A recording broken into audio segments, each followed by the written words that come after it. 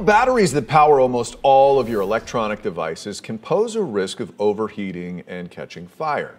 Today, Florida state lawmakers work to get results on this issue. New legislation that would set new rules on safely storing lithium ion batteries cleared their final hurdles today. This would fix an issue that was exposed by News 6 investigator Eric Sandoval. He's in Tallahassee with what today's vote means for you and your family. Eric? Yeah, uh, Matt, it was a really big day for efforts to uh, save people's homes and property from these lithium ion battery fires. That bill that would basically craft new rules for safely storing these batteries passed their last House and their last Senate committees. In fact, we were in the room. We have some video of that last vote that happened within the last 20 minutes. The Senate Committee on Fiscal Policy just approving this bill, moving it onto the full Senate floor. A House committee did the same thing earlier earlier this morning. Now, here's how these bills are going to get results.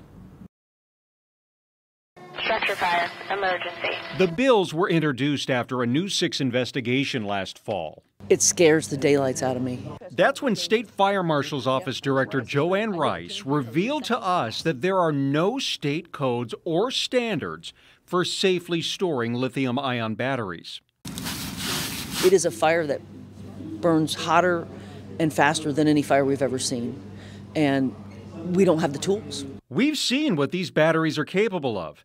An overheated battery caught this house in Brevard County on fire, leaving a man badly burned. Yeah, we had the e-bike battery plugged in in the room, and there was an explosion. We cut back, and there it was, side of the bed was on fire. Cody stomped on the fire, burned his feet all up. The House and Senate bills would allow the Florida State Fire Marshal to act outside the national rule book for fire marshals across the country.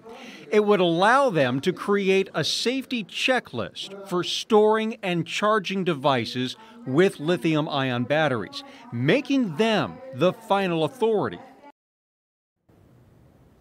so here's what happens next. Uh, the uh, full Senate, the full House will have their votes. And if the governor signs it, it'll eventually be up to the state fire marshal's office to craft those new rules for safely storing these devices.